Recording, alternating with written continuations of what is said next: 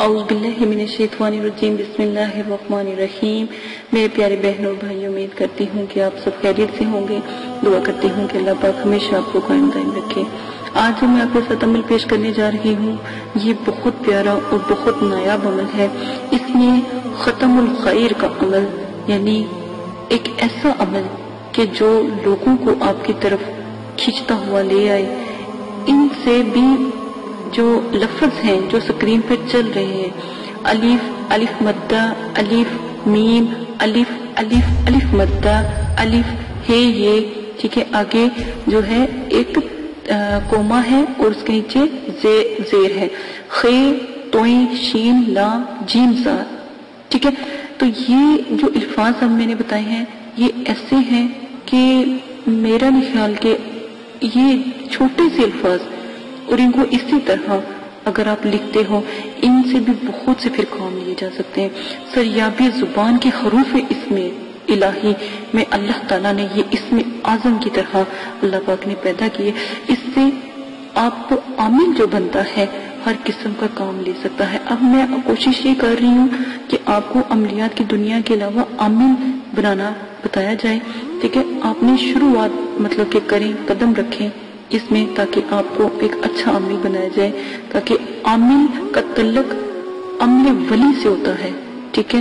جو ولی اللہ ہوتے ہیں، جو اللہ کے قرب یا قرب کو حاصل کرتے ہیں، وہ ولی اللہ کہلاتے ہیں، ٹھیک ہے؟ تو عامل کا تعلق اس سے ہوتا ہے، یہ جو آج کل کے عاملین ہیں، عامل ہیں، یہ ویسے نہیں ہے جیسا میں آپ کو بنانا چاہتی ہوں، ٹھیک ہے نا؟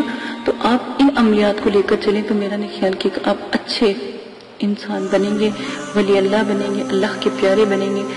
اگر کسی سے ملاقات کو جانا ہو، تو مشک اور زعفران سے ان حروفوں کو لکھ کر، دھو کر ایک شیشی میں رکھ لیں۔ غور سے سنیں۔ کسی سے ملاقات کو جانا ہو، جو جس سے جو آپ سے بہت لڑتا ہو، بہت تنگ کرتا ہو، یا کسی محفل میں آپ نے جانا ہو، آپ چاہتے ہو کہ ساری دنیا مسخر ہو جائے۔ یعنی سب لوگ مجھ سے پیار کریں اور میری طرف آئے۔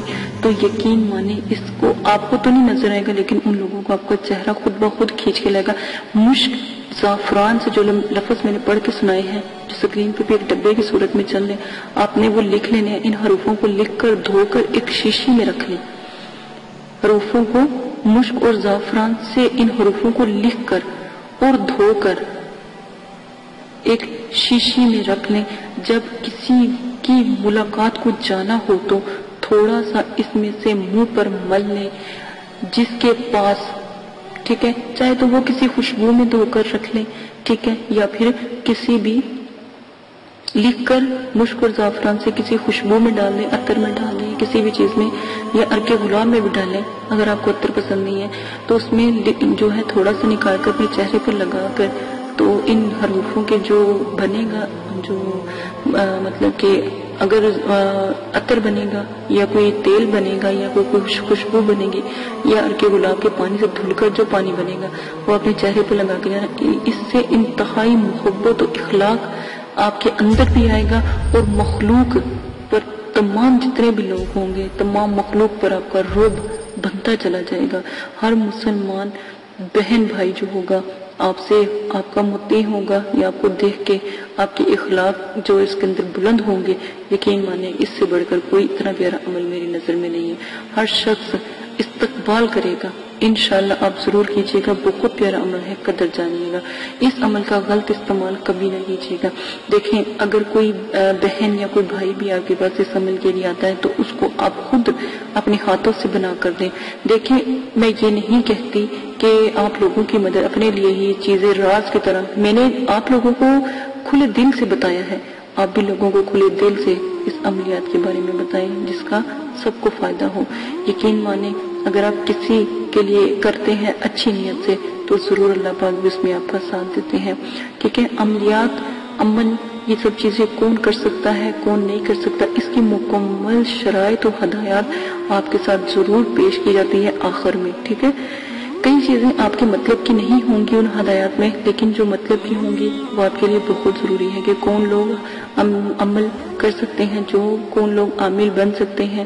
تخارت باقی ہر وقت ضروری ہے اور باوضو پانچ وقت کی نماز پڑھنا جو عامل بنے، اس کے لیے انتہائی ضروری ہے۔